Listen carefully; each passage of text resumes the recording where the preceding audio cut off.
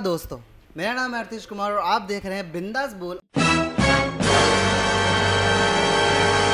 On Bollywood helpline जिस चीज़ के आज हमारा पैनल बैठा है उस चीज़ की हम आज चर्चा करने वाले जो है ओल्ड सॉन्ग्स जो हमारे होते हैं जो काफ़ी महान कलाकारों ने बनाए उनकी जो वाट लगाई जाती है रीमेक बना बना के उसके ऊपर हम चर्चा करने वाले कि मेरी क्या राय है मेरे साथ पैनल पे एक और जड़ उनकी क्या राय है Hi, this is Prisha Vyas. Hi, this is Meghna Tiwari. Hi this is Naseem Khan so आज हम सबकी राय जानेंगे कि सब सोचते क्या हैं कि पुराने गानों के रीमिक्स बनने चाहिए या नहीं बनने चाहिए। अगर बनने चाहिए तो किस तरह के बनने चाहिए? तो हम शुरुआत करेंगे नसीम सर के साथ कि उनकी क्या राय है। यार पुराने गाने पुराने गाने और old is always you know is is a gold लेकिन जिस तरह से अब कई बार क्या ना फ़िल्में नहीं चलती हैं तो फ़िल्मों में घुसेड़ दिए जाते हैं गाने कि कोई पॉपुलर गाना आप एट्टीज़ का नाइन्टीज़ का उठाइए उसकी उसका पोस्टमार्टम करिए और घुसेड़ दीजिए उसको। और कोई विथ ऑल ड्यू रिस्पेक्ट कोई एक आइटम गर्ल को उठाइए और उससे वो उस पर वो गाना पिक्चराइज करिए। तो प्रोड्यूसर को ऐसा लगता है कि उससे यू नो टिकट विंडो पे लोग आएँगे और ऐसा होता भी है। आशिकी एक ऐसी फ़िल्म रही है एटीज़ की जब राहुल रॉय और दीपक दीपक तिजोरी की फ़िल्म थी और अनु अग्रवाल की फ़िल्म थी। शायद राहुल रॉय की वो एक अकेली वाहिद सक्सेसफुल फ़िल्म थी उसके बाद राहुल रॉय का क्या रहा हम सबको पता है। लेकिन वो सिर्फ़ म्यूज़िक और गाने की वजह से हिट हुई थी। वो इतनी बड़ी कामयाब फ़िल्म हुई थी। श्रद्धा कपूर श्रद्धा कपूर ने जब एक विलन करी और उससे पहले श्रद्धा कपूर ने जब इंडस्ट्री में कदम रखा था उन्होंने तीन पत्ती फ़िल्म की थी अमिताभ बच्चन के साथ। लेकिन कहीं पे भी करियर आगे पीछे हुआ ही नहीं। सिर्फ़ संगीत ने म्यूज़िक ने श्रद्धा कपूर को श्रद्धा कपूर बनाया और जैसे हम जिस बात में डिस्कस कर रहे हैं मैं कहीं और चला गया। गाने ओल्ड इज़ गोल्ड मैं बोलता हूँ ना इतने बेहतरीन गाने रहे हैं इतना बेहतरीन संगीत रहा है पुराना कि आज भी उसकी प्रोड्यूसर रोटियाँ खा रहे हैं। आपकी बात बरोबर है बट आपने जैसे बात की आशिकी वन की तो Aashiqui one was a very good film उसके गाने भी अच्छे थे बट आशिकी टू जो थी उसकी स्टोरी लाइन सब कॉपी रहे हैं सब वही प्यार मोहब्बत इश्क रोना धोना मरना मिटना एंड में छोड़ देना यही सब था। बट हाँ उसके गाने मैं बोलूँ तो गाने ही बड़े खूबसूरत थे। मैं आज भी बहुत बार सुनती हूँ that is what I personally feel and जैसे कि नसीम सर ने कहा कि पुराने गाने प्योर होते थे। अभी जैसे कि ले लूँ मैं लैला मैं लैला। पुराने गाना मतलब जरा भी गंदगी नहीं थी बट जैसे ही उन्होंने सनी लियोनी लाई आई गेस सनी लियोनी लाई।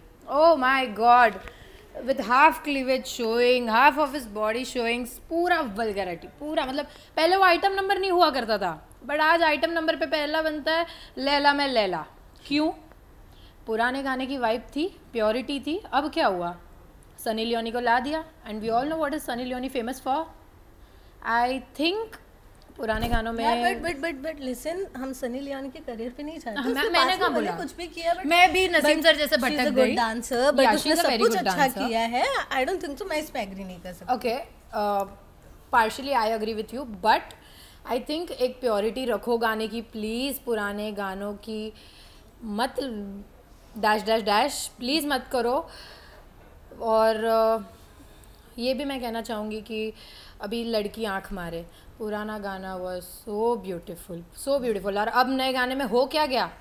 लड़की आँख मार रही है क्या कर रही है? समझ ही नहीं रहा है। कुछ बैठ ही नहीं रहा है कुछ सारा अली खान को ला दिया है रणवीर सिंह को ला दिया है। आ, क्या कर रहे हो यार? क्या कर रहे हो? प्लीज़ ये सब बात ये सब सबके ओपिनियंस थे कि क्या हो रहा है इस इंडस्ट्री में रीमेक्स के ऊपर। बट कहीं ना कहीं मैं इन सबसे ही जानना चाहूँगा कि क्यों ऐसा होता है कि रीमेक्स बनाए जाते हैं? क्या बॉलीवुड के पास कंटेंट नहीं है?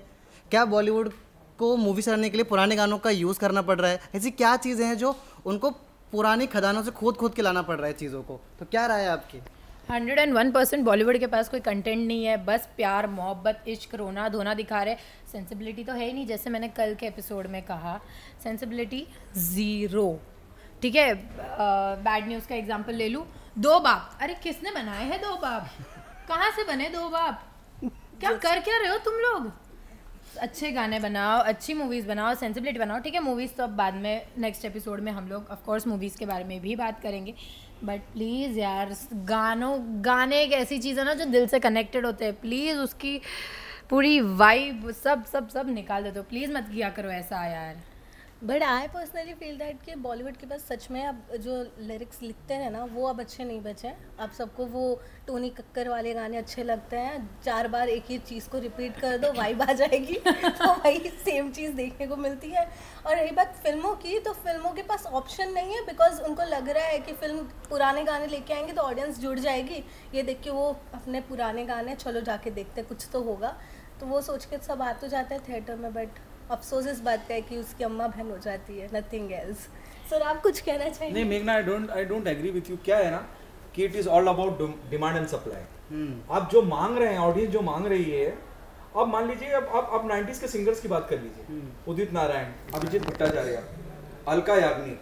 लता मंगेशकर। लता लता जी तो खैर लीजेंड थी उनके तो खैर क्या बात करनी। लता जी ने तो बहुत बड़ा मतलब कोयल रही हैं हिंदुस्तान की स्वर्गीय लता जी उनके बारे में उनका तो कोई कंपैरिजन नहीं कर सकते। उनकी आवाज़ और भगवान की आवाज़ एक ही है। तो जो अभी के सिंगर हैं जो 90s के सिंगर हैं उनको काम कहाँ मिल रहा है आप देखिए। दम लगा के आयशा एक फ़िल्म आई थी। हम्म। कुमार सानू क्योंकि उनको 90s क्रिएट करना था क्योंकि फ़िल्म का बैकड्रॉप वो था तो कुमार सानू को ऑन बोर्ड लाया गया लाया गया और कुमार सानू ने गाना गाया। अब जिस तरह के गाने और संगीत आज हो रहा है वो पहले नहीं था लेकिन आप डिमांड एंड सप्लाई की बात है। आप देखिए आज की तारीख में रैप सॉन्ग कितने चल रहे हैं। एक्चुअली ठीक? एक अभी आज की तारीख में अरिजीत सिंह हम्म। एक बहुत बड़ा नाम है। अरिजीत सिंह को आप रख लीजिए जो अच्छा बहुत कामयाब सिंगर है और किसी रैपर को रख लीजिए आप। दोनों को किसी इवेंट पे बुलाइए क्योंकि आप जर्नलिस्ट हैं। जर्नलिज्म में आप काम कर रहे हैं। आप बुलाइए देखिए भीड़ कहाँ ज़्यादा आएगी। जो रैपर होगा ना अंटा बंटा अरेला चिंटिगा अरेला चिंटिगा आप समझ रहे हैं ना? वो जो ज़ुबान है कि तेरे को बोला था तू उधर पहुँची नहीं मैं उधर पहुँचा तो मेरे को मिली वहाँ की ऑडियंस देखिए आप। मतलब लोग मतलब बैरिकेड तोड़ के और पता नहीं क्या सब कुछ करने के लिए तैयार है। उनकी एक झलक पाने के लिए उनको सुनने के लिए। रिसेंटली कुछ वक्त पहले एक एक इवेंट था यहाँ मलाड में मैं वहाँ गया था। अरे वो अभी जो हाल फ़िलहाल में बिग बॉस जीता है ना। एमसी स्टैन हाँ अरे बाप रे भाई वो आया था। अब आप सोचिए मेघा मेघना लोग गिर रहे कुत्ते के साथ। सिर्फ़ उसको देखने के लिए। और आप आज के बच्चों को उठा के देखेंगे जो आज की जनरेशन है वो सब एंजॉय करती है। मैं अब तुम सब बच्चे ही हो मेरा मेरे जो मेरे वक्त के लोग हैं वो आज भी आप वो गाने अमर हैं। कभी कभी मेरे दिल में ख्याल। आता है कभी को बनाया गया है मेरे सही बात है। आज आजकल तो जो जिस तरह के गाने हैं उसमें शोर ज़्यादा है और मीनिंग कम है। मीनिंग कम है। कभी डिस्को कभी तुझको हाँ। कभी मुझको। गालियाँ होती हैं। अरे मैं गालियाँ एंजॉय कर रहे हैं ना मेघना। हम्म। तुम सिर्फ़ म्यूज़िक डायरेक्टर को सिर्फ़ प्रोड्यूसर को हम ब्लेम नहीं कर सकते। It is all about as I said about MC stand आप लेके जाइए। अरिजीत सिंह इतने दिग्गज सिंगर है लेके जाइए उनको आप। और बोलिए वो कुछ गा रहे हैं और बराबर में एमसी स्टैंड गा रहा है। एमसी स्टैंड को लोग ज़्यादा सुनेंगे बॉस आई एग्री इससे अभी अभी आपने बोला आपने सब सबको पुराने वन को मेंशन किया। मैंने कहीं पे ना पढ़ा था कि Neha Kakkar is the new Lata Mangeshkar. And I was like मैं क्या लिखूं? कमेंट सेक्शन देख रही हूँ मैं। मैंने बोला कैसी कैसी गालियाँ लिखी है लोगों ने? कैसी कैसी गालियाँ लिखी है? तो वही है गाइस मैंने कल भी बोला था जो जेन जी जनरेशन है जो वो 2005 या 2000 के बाद पैदा हुए प्लीज़ स्टूपिडिटी मत करो. Listen to the original songs जहाँ पे तुम्हें प्योरिटी दिखे. और देखो अगर एक एक एक मूवी था. अगर सबने देखा हो विवाह मूवी था. शाहिद कपूर का. ठीक है? वो मेरी फेवरेट मूवी है. उसमें लव कितना प्योरली बताया गया है. सॉन्ग्स कितने प्योरली बताए गए हैं. ये अब क्या बन रहा है? बैड बैड न्यूज़ बाप! वो मुझे हक है से लेके बाकी सबको हक है मेरी बीवी को छूने का. दो बाप बन रहे हैं। ये हो क्या रहा है भाई? तुम लोग बॉलीवुड तुम्हारे पास कंटेंट नहीं है तो ज़रूरी नहीं है। फ़िल्म बनानी ही है। कुछ भी मत बनाओ।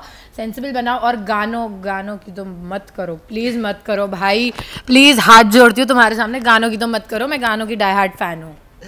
आई थिंक दोस्तों मुझे ऐसा लग रहा है कि प्रीशा को बैड न्यूज़ से कुछ ज़्यादा ही कुछ खफा हो गई है वो। बहुत ज़्यादा ऑब्सेशन है कुछ ज़्यादा ही खफा है कि वो कल से उनके पीछे ही पड़ी हुई है। बट जैसे नवीन सर ने कहा पुराने गानों के बारे में आज हम जैसे देखते हैं ना कि जो रैप कल्चर होता है हम ये चीज़ बहुत देखिए कि आज एक रैपर जैसे एम सी स्टैन है दूसरा बादशाह है। अगर एम ने कुछ ने बनाया किसने उसने कोई अच्छा गाना बनाया उसको लोग एक महीना डेढ़ महीना ये ये इतना देखते हैं फिर उसके बाद वो लोग उनसे बोर होने लग जाते हैं। बिकॉज़ कहीं ना कहीं उनके माइंड में वो लगता है, यार, ये क्या है, वही सुनना। बट अगर हम पुराने गानों की बात करें, जैसे सर ने कहा कि वो गाने अमर हैं, वो अमर इसीलिए कि उनके संगीत जो है, उनके लिरिक्स जो उनके बोल होते हैं, जिसने वो गाया है, उनकी आवाज़ को आज तक कोई भुला ही नहीं पाया, ना वो जहन से निकलती है। इंसान अगर, जैसे सर ने रैप के बारे में बात की तो अगर इंसान कहीं जाता है, अगर इंसान का मन स्थिर नहीं है, वो अपनी चीज़ों पर फोकस नहीं कर पा रहा है तो वो कहीं ना कहीं रैप की तरफ़ नहीं जाएगा, वो पुराने गानों की तरफ़ जाएगा, क्योंकि वहाँ उसको सुकून मिलेगा। उसको सुकून मिलेगा तो आगे करने की चीज़ें सोच पाएगा। तो ये डिफरेंस मुझे नज़र आता है दोनों चीज़ों में, और मैं तो चाहता हूँ कि अगर, पहली बात तो मैं ये चाहता हूँ कि रीमेक्स ज़्यादातर बने ना, और अगर बन रहे ना तो उनकी प्योरिटी को तुम प्लीज़ मत तबाह करो बिकॉज़ आई एग्री दैट अभी काफ़ी अच्छे टूल्स आ गए हैं, बे, आजकल बेस बूस्टेड सॉन्ग्स को ज़्यादा लोग पसंद करते हैं। But thing is like something जो अमर है ना, उसको अमर रहने दो। अगर तुम उसको रीमेक ला रहे हो तो प्लीज़ उसकी प्योरिटी मत डालो। एंड इस तो पे ये कह सकते हैं कि छेड़ो मत हमें सताए हुए वही गाना ये हाँ अभी के प्लीज़ छेड़ो मत यार प्लीज़ मत छेड़ो। और और एक बैड न्यूज़ है कि और एक रीमेक कर रहा है हाँ हाँ। मैं- वही तो अभी बैड अभी बैड न्यूज़ मैं क्यों बोल रही हूँ? I am not personally targeting bad news but please मतलब हाँ I am personally targeting bad news but मैं ये बोल रही हूँ कि कौन सा गाना था? मेरे महबूब मेरे हाँ मेरे महबूब मेरे सनम जो ओरिजिनल गाना था। जो जिसने गाया था वो कितना खूबसूरती से गाया था और अब पुराने ही लिए गए हैं बट उसमें थोड़े बीट्स डाल दिए अरे कौन से बीट्स डाले? बीट्स जो अच्छे नहीं लग रहे। हैं? बीट्स जो अच्छे नहीं लग रहे, वो डाले गए हैं। जो शांति से, जो प्योरिटी वाले गाने हैं। पता है, एक वो था कि मेरे पापा बोलते थे कि ऐसे ऐसे गाने सुनो और तब मुँह बनाते थे। और आज सच्ची में लग रहा है, वही गानों में प्योरिटी थी ये। कहाँ से टोनी कक्कर आ जाता है और ढिंचैक पूजा आ जाती है? आज है मेरा बर्थडे बर्थडे अरे, कौन सा बर्थडे भाई? कौन सा बर्थडे प्लीज़ बंद करो। मैं नसीम सर को पूछना चाहूँगी कि उनकी न्यू सॉन्ग्स के बारे में अभी क्या राय है? मतलब अभी जो रिसेंटली नए नए सॉन्ग्स आए हैं अभी देखो तौबा तौबा आया है। वो गाया अच्छा है सब सब अच्छा किया बट उसमें एक कमी है जो मुझे लगता है आप पॉइंट आउट करोगे। कहीं ना हाँ। यू टेल मी क्या कमी है? क्या लगी? आपको क्या लगी? सर क्योंकि आज हमारे पैनल में आप नए जुड़े तो हम तो इस जनरेशन बिलोंग करते हैं इस जनरेशन से। तो हमको कहीं ना कहीं उस चीज़ की आदत लगी हुई है कि हम ये सुनते हैं बस ये सुनते सुनते बड़े हुए हैं। बट मैं आपसे जानना चाहूँगा इस चीज़ के बारे में कि आपको क्या दोनों में डिफरेंस नज़र आता है? कि आज के जो गाने और उन सब चीज़ों में? यार आज के आज के गानों की जब मैं बात करता हूँ तो आज के गाने आते हैं और जाते हैं। हम्म। लोग गाने आए और चले चले गए। ठीक है? आशिकी का मैं आशिकी टू की बात कर रहा हूँ। हाँ। सुन रहा है ना तू और ये तुम ही हो। आप उसको कितना याद करते हैं या सासों की ज़रूरत है ऐसे जैसे पुराने जो- चाहिए हाँ। उसको कितना याद करते हैं? आशिकी कब आई थी? पहली हम्म, आशिकी। हम्म। और ये आशिकी कब आई थी? आप बताइए आप कितना वो आशिकी टू के गाने को सुन पाते हैं? इन जनरल रेडियो पे या किसी को गुनगुनाते हुए या यू नो कहीं शादी ब्याह में हम्म। आप उसको ही सुन पाएँगे। हाँ। क्योंकि मीनिंगफुल गाने हुआ करते थे। अगर मैं बहुत पीछे जाऊँ तो मोहम्मद रफी एक ऐसे वाइट सिंगर थे। जितेंद्र के लिए गा रहे हैं तो लगेगा कि आपको जितेंद्र खुद गा रहे हैं। हाँ। हाँ ये चीज़ सही बात है ये। कि आपको महसूस होगा कि यार वो अब अब उदित नारायण थे। उदित नारायण ने जब तक 90s की मैं बात कर रहा हूँ उन्होंने तुझे देखा तो जाना जाना सनम। आपको लगेगा कि उदित जी भी शाहरुख को बिल्कुल है ना मैच कर रहे हैं। अभिजीत भट्टाचार्य एकदम शाहरुख की आवाज़ लगते हैं। हाँ शाहरुख की आवाज़। अब क्या है कि हर और और डिफरेंसेस भी हो जाते हैं। हाँ। ईगो क्लैश है अभिजीत हाँ। अभिजीत का और शाहरुख का। हाँ। हम जमानों से सुनते आ रहे हाँ। हैं। एक वक्त के बाद उन्होंने यस बॉस गाया उसके बाद कोई गाना ही नहीं आया। उनको वो दुनिया भर का रोना और कई बार मीडिया के रूबरू होकर अपनी कहानी बताते रहते हैं। हम्म। लेकिन जो जो प्योरिटी अगर वो उतने कामयाब गाने नहीं होते हाँ। क्यों ज़रूरत है एक प्रोड्यूसर को उस गाने का रिमिक्स रिमेक बनाने की? सही बात है। क्योंकि उन्हें मालूम है कि ये सदाबहार है ये अमर है। हम्म। इनके सहारे हम ऑडियंस को बुला सकते हैं इनके सहारे एक एक एक्स एलिमेंट अपनी फ़िल्म में डाल सकते हैं कि भाई ये गाना है। लोग ये गाना देखने तो आएँगे तो उसके उसके वही हो रहा है ना कि बॉलीवुड के पास कंटेंट नहीं है। म्यूज़िक को बिज़नेस समझ लिया है वही चीज़ हो है it ना। is it is a it is a business Babu. is a business हाँ। लेकिन तब क्या है तब साधना हुआ करता था। हम्म। लोग पूछते थे सरस्वती माँ की बात करी जाती सर, थी हाँ, जब हाँ। संगीत की बात करते हैं। मोहम्मद रफी एक ऐसे गायक थे जिन्होंने ना जाने कितने लोगों के लिए फ्री में गा दिया गाना हम्म। गाने पैसे नहीं है? कोई बात कोई बात नहीं। आनंद बख्शी ने ना जाने कितने लोगों के लिए फ्री में गाने लिख दिए। पैसे नहीं है। वो प्यार होता संगीत के लिए उनका। जावेद अख्तर साहब हाँ। ने इतना इम्पोर्टेंट गाना लिखा था मुझे वो गाना याद नहीं आ रहा।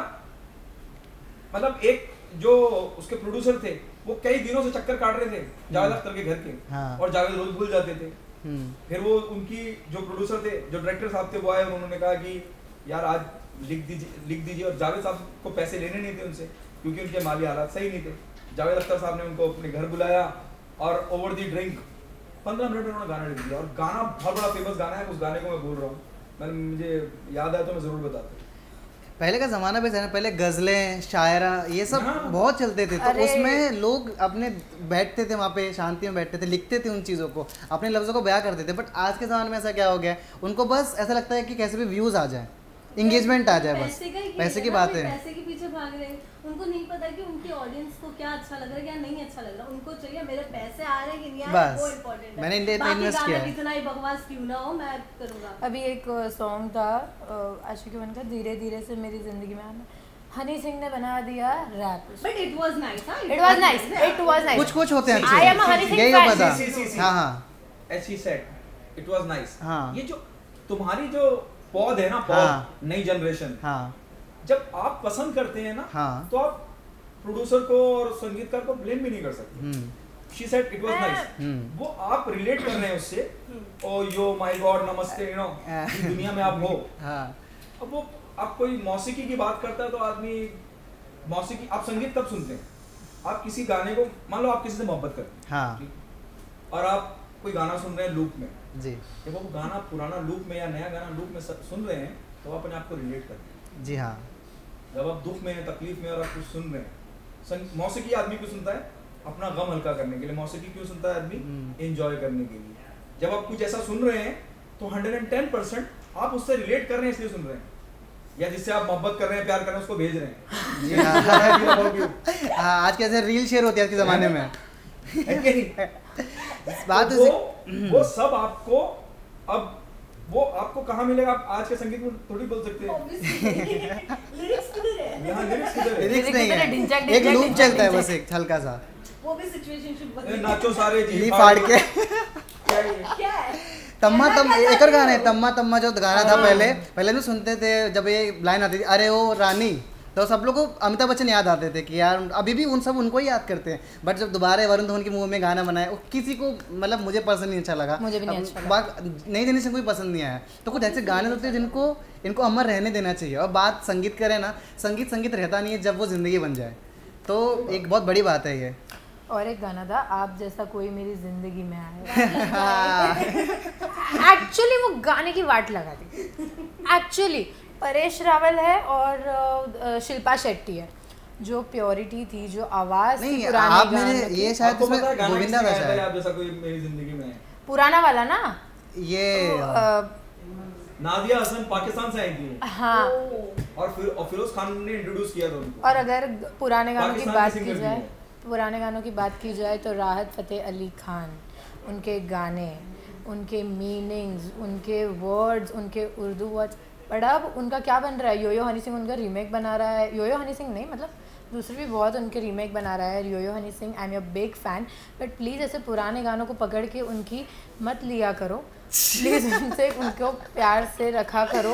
प्लीज़ एक बड़ी बात जो भी नजीम सर ने कही है उसमें पॉइंट आउट करना चाहूँगा कि पाकिस्तान से सिंगर बुलाई थी उन्होंने। मतलब म्यूज़िक का प्यार देखो कि दो जो जो मुल्क जो अलग हो गए थे किसी हाँ और वो संगीत वो बाउंड्री है जिन्होंने उनको मिलाया साथ में। पाकिस्तान इज़ बहुत मतलब पाकिस्तान से पॉलिटिकली प्राइम मिनिस्टर जो जो जो भी एक्स वाई जेड उसमें I I don't care but Pakistan के गाने पाकिस्तान की गज़ल पाकिस्तान की शायरी पाकिस्तान के सिंगर्स ओ माय गॉड और एक और एक अभी मूवी थी जिसको 25 साल कंप्लीट हुए उसमें उसमें भी एक वो था जिसमें वो कबूतर का सीन था उस, अरे उसके पहले। मैं आपको नुसरत फतेह अली खान साहब का किस्सा सुनाता हूँ। नुसरत फतेह अली खान साहब कोई फ़िल्म कर रहे थे हिंदुस्तान में और हम्म। आनंद बख्शी साहब उसका गाना लिख रहे थे। जी। बख्शी साहब उसका गाना हम्म।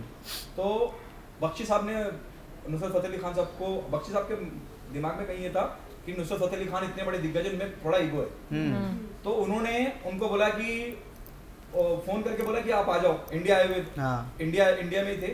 तो फतेह अली खान साहब ने कहा आनंद बख्शी साहब को कि आप आ जाओ मेरे पास। तो उनको लगा ये साला मेरे मैं इतना बड़ा राइटर हूँ मेरे को ईगो दिखा रहा है। वो उस बात पे अड़े रहे। फिर एक दिन यही सब चलता रहा सिलसिले चलते रहे गेटिंग भोजपुर ये सिलसिला चलता रहा उनको ईगो और ये बुलाते रहे ये आते आए नहीं फिर एक दिन नुसरत फतेह अली खान खुद उनके घर पहुँचे। क्या बात चार पाँच आदमी नुसरत फतेह अली खान साहब को उठा के लेके जाते थे। बख्शी साहब स्टार्टेड क्राइम कि ऐसे खान साहब को आना पड़ा। उनको उठा के लेके गए। कितनी बड़ी बात है मतलब ये। और उसके बाद उन्हें एहसास हुआ कि मैंने क्या गलती की। जी हाँ। यहाँ ईगो नहीं था उनका जिसम इतना भारी था कि छह आदमी लगते थे उनको उठा के ले जाने के लिए। जब बख्शी साहब माने नहीं तब फतेह अली खान साहब बोले चलिए ठीक है मैं आता हूँ। जब वहाँ पहुँचे तो रो दिए थे बख्शी साहब। Crying seeing his condition वही तो संगीत संगीत को लोगों ने ना संगीत को पूजा है लोग हाँ। और ये जो मैं आपको बता रहा हूँ ये कोट अजय देवगन ने बताया एक रियलिटी शो में। मतलब वही देखा जाता है कि पहले संगीत का प्यार इतना प्यार था कि पहले प्यारों से संगीत बनाया जाता अब पैसों से संगीत बनाया जाता है। ये फ़र्क आया आज की का मुझे लगता है। और ज़रूरत और देखो पैसे के लिए बनाना है संगीत बनाओ बट एटलीस्ट खुद का बनाओ पुराने खत्म हाँ। एक्चुअली यार प्लीज़ यार। अब जो गाने अमर हो चुके तुम उनको दोबारा बना के उनको मारना मारना शुरू मत करो। अभी अरिजीत सिंह इतना अच्छा गाते हैं। लोग सुन के रो देते हैं। ब्रेकअप हुआ रहेगा एक दिन पहले रो देते हैं। प्लीज़ अरिजीत सिंह आप अच्छा गाते हो। आपने आज आज तक आई गेस कोई रिमिक्स बनाया नहीं है। रीमेक बनाया? है? हैं काहे हैं बट खुद के लिखे हाँ हाँ पंजाबी गाने ठीक है। पंजाबी गाने ठीक है। जिसकी जिसके रीमेक बनाना है बनाओ। बॉलीवुड को पुराने गाने आप जैसा कोई मेरी ज़िंदगी में आए अ, अखियों के झरोकों से वो सबको अकेला छोड़ दो please you something add on नहीं थैंक यू इतना ही बोलना है और फिर जो है ओल्ड उसको ओल्ड रहने दो एट लास्ट मैं सबसे एक आखिरी सबको ओपिनियन जानना चाहूँगा कि क्या बॉलीवुड को ज़रूरत है रीमेक सॉन्ग की? सब अपनी राय में सबसे जानना चाहूँगा। शुरू करूँगा मैं नसीम सर से। बॉलीवुड रीमेक्स के बिना चल ही नहीं सकता। Remake is very important it's a survival story reason this is one of the X element in the film hmm if if the producer or director feels somewhere down the line it doesn't work. Actually एक गाना डाल दो, हम्म एक दो तो वो वो उनके बिना चल नहीं सकते। आप कितनी भी एतराज़ करें आप कितनी भी शिकायतें करें उन्हें जो करना है वो करना है क्योंकि it is not about you know preaching or respecting a, a specific profession. It is more about making money. पहले लोग फ़िल्म मेकिंग के लिए जुनून में आते थे। हाँ। केसी बोकाड़िया एक ऐसे डायरेक्टर हैं जिन्होंने आज का अर्जुन और ना जाने कितनी बड़ी बड़ी फ़िल्में दी हैं। प्रकाश मेहरा को किसी तारुफ की ज़रूरत नहीं है। उन्होंने जुनून से फ़िल्में बनाई पैशनेट होकर फ़िल्में बनाई। हम्म। तो उस उस टाइम पे 25 25 हफ़्ते फ़िल्में चलती थी और उसकी शील्ड दी जाती थी क्या? सिल्वर जुबली 25 25 हफ़्ते। 25 हफ़्ते, आज। तीन दिन में फ़िल्म का फैसला हो जाए सही बात है में जा रही है रुक रही है। रुक रही है। वो जुनून से बनाते थे फ़िल्में। हम्म। यहाँ फ़िल्में कंप्यूटर पे लैपटॉप पे बन रही है इससे इतना आएगा सैटेलाइट से राइट से इतना आएगा म्यूज़िक राइट से इतना आएगा। हाँ ठीक है। It is more of a business than a passionate passion about the film passion ज़्यादा कैलकुलेशन हो रहा है। कैलकुलेशन है। मेघना। मैं तो यही कहूँगी कि जो है सिंगर्स हैं पुराने वाले उनको ही रहने दो। उस गाने को अगर यूज़ भी कर रहे हो तो सिंगर वही रखो।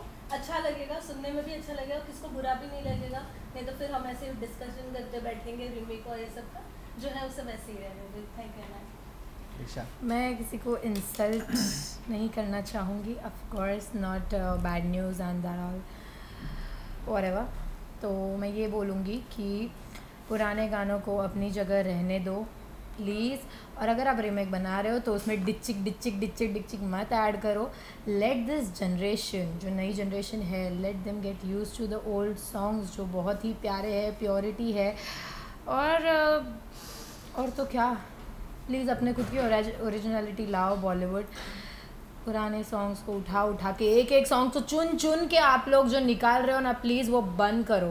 प्लीज़ एंड मेरी भी राय इनसे ज़्यादा डिफर नहीं करेगी। मेरी भी यही राय है कि अगर जो पुरानी जान है जो पुराना गाना जो अमर हो चुके हैं उनको प्लीज़ दोबारा पैदा करके उनको मारो मत।